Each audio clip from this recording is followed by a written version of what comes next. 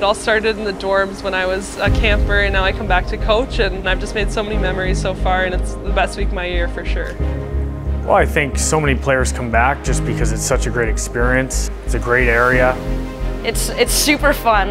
Like that's why I keep coming back. It's just a great group of people, a great group of coaches.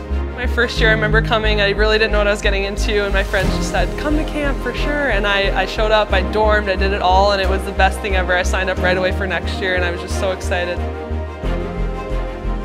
We're grateful and lucky that a lot of really talented players and coaches come, um, but it's also in an amazing part of the world.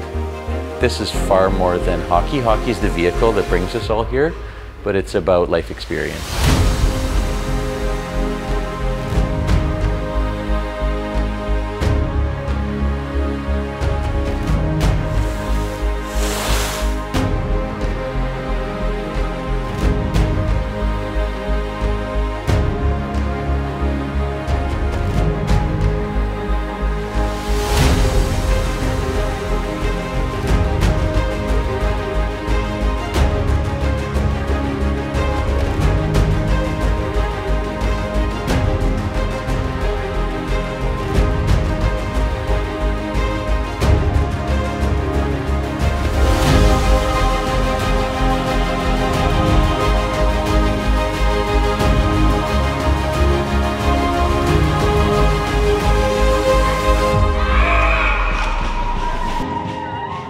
A special part of the summer to come back and see everyone. You're on the ice, you're doing what you love.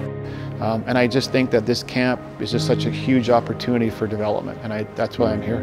I would just tell every little hockey player to come to prep camp because it's the most fun week you'll ever have. The facilities are one thing and they are amazing, but uh, I, I would tell you the thing that brings me back is just the people.